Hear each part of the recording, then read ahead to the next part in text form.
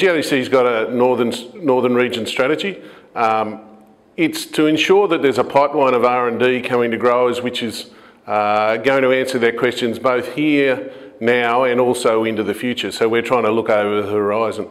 Um, the other major part of the strategy is making sure that the region has the um, capacity and capability in R&D to deliver uh, for the next 20 years. Um, it's really important that we continue to develop researchers as well as continue to look at research for the future. The strategy will deliver benefits to growers both now and well into the future. We're looking at short-term measures, so answering growers' immediate questions, and we tend to do that through our grower solutions groups. Um, and we have an investment window there which we call one to three. Um, so that has our updates and our workshops and, and the stuff that, that growers attend regularly. The, the, the next part of the strategy or the next window of delivery is really where we work with the universities and the departments of agriculture traditionally and with the key researchers that growers would be very familiar with. Um, and that's looking at the, the immediate issues but also looking at what issues are coming over the horizon in the next four to five years.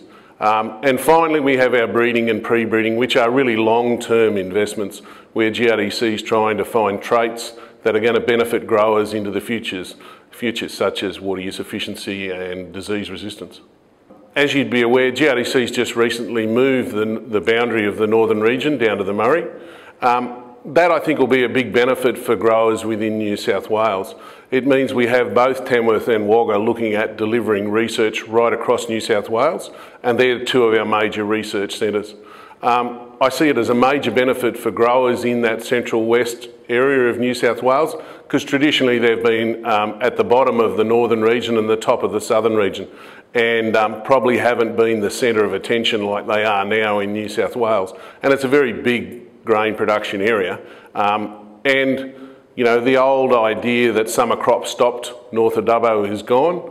Uh, I think there's a, there, we're seeing crops now all the way down, virtually down to the border. So I think it'll allow us to do R&D and certainly deliver outputs to grower in a much more efficient way.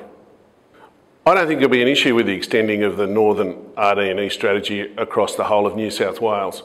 Uh, I actually see some really major benefits in doing that. It allows Tamworth and Wagga to work as one and you know they're major R&D centres for um, New South Wales. So I think we can now see those working together. I think we can link our key researchers, um, in, particularly in areas like pathology and soils.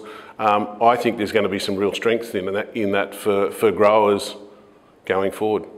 Key research priorities for the northern region um, are still weed, weed resistance, herbicide resistance, um, and are still nutrition. I think nutrition's the growing one. Certainly talking to more and more growers, they're realising that, you know, they, they're needing to put more on. Um, that's a challenge because, you know, certainly in some areas it's been really tough with the environment we've got and we, you know, we're not, we don't want to increase growers' costs, but they're still the two major issues that we're working on. Um, and uh, we're certainly seeing growers wanting more money spent there and better delivery.